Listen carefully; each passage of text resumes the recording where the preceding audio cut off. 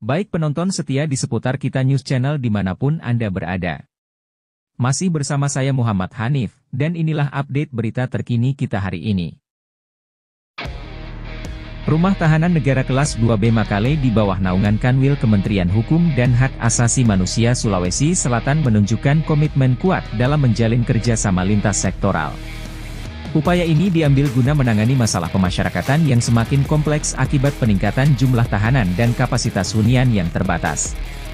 Kepala Rutan Makale, Luther Toding Patandung, memimpin sebuah langkah strategis dengan mengadakan penandatanganan perjanjian kerjasama bersama 21 lembaga pemerintahan dan non-pemerintahan.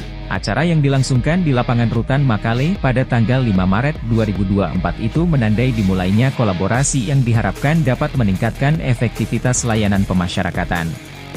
Wakil Bupati Tanah Toraja, Dr. Zadrak Tombek, yang turut serta dalam pembukaan acara, menyatakan harapan bahwa para peserta program rehabilitasi akan menjalani masa pembinaan dengan baik. Dengan fokus pada rehabilitasi pecandu narkotika, dia menginginkan mereka dapat kembali ke tengah masyarakat sebagai pelatih yang menyadarkan tentang bahaya narkoba. Pada kesempatan yang sama, Dr. Zadrak Tombek juga mengapresiasi partisipasi warga binaan dalam pemilu terakhir.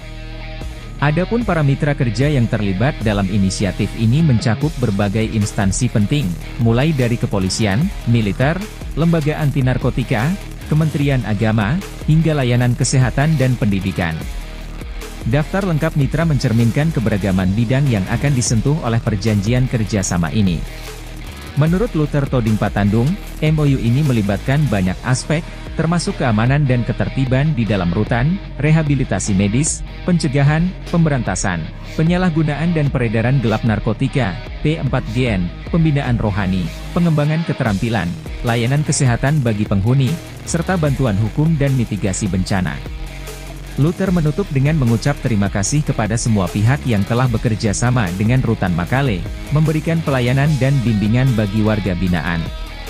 Dengan adanya kerjasama ini, diharapkan tujuan pemasyarakatan yang lebih efektif dan manusiawi dapat terwujud, sekaligus memberikan dampak positif yang berkelanjutan pada masyarakat luas. Demikian informasi update berita terkini yang dapat kami sampaikan.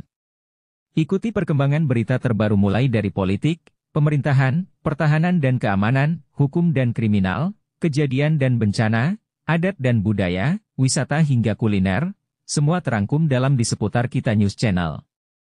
Terima kasih telah menyimak dan sampai jumpa di segmen berita selanjutnya.